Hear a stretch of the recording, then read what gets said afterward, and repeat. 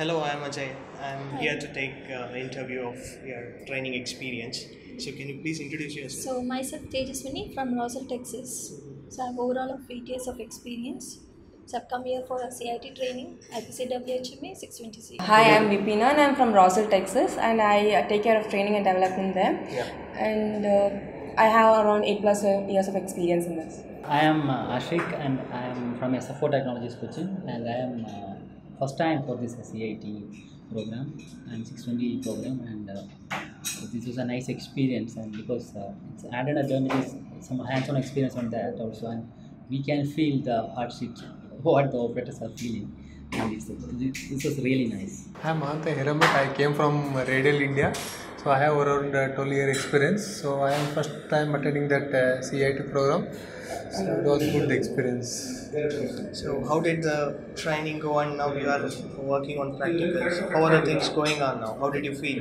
Actually, I learned a lot for the last five days. So related to 620C, what are the cable harness and all the things and acceptance criteria and all the whatever requirement is there. But it was a very good experience. So we have learned so much things. So that the part is only implementation.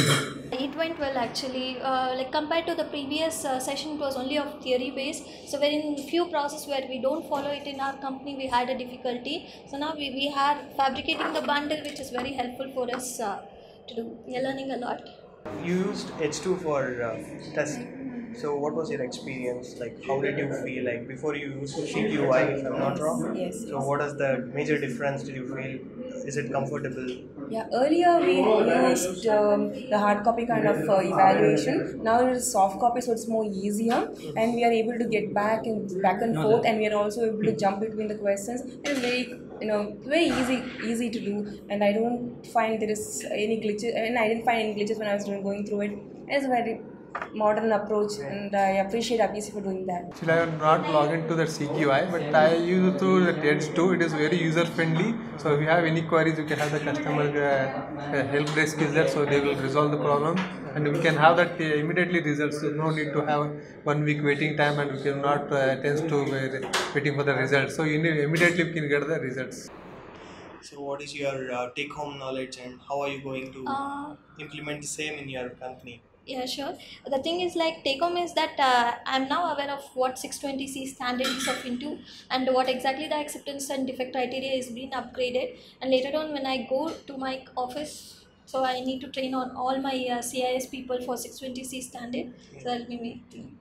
How effectively we have received the training, the same way we are going to communicate, and more than that if possible.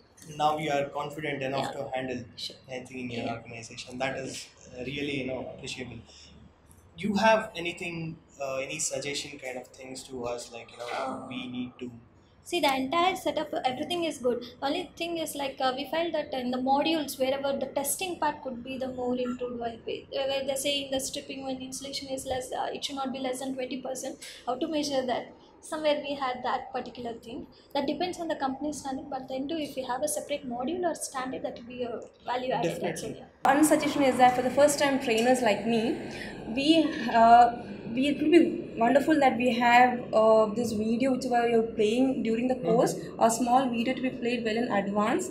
Could actually give us as a homework or something where we can have a look at these videos then we, before coming here. This will like, help us because some things which we really don't know because we don't see that in the real life. Yes. Only among 100 maybe we would see around 50 but the rest are, 50 are still uh, you know, unknown for us so when we have a video being played with in advance then it will be easy for us definitely Uh, we'll work on it yeah thanks for the suggestion Okay, thanks. all the best for you. Thanks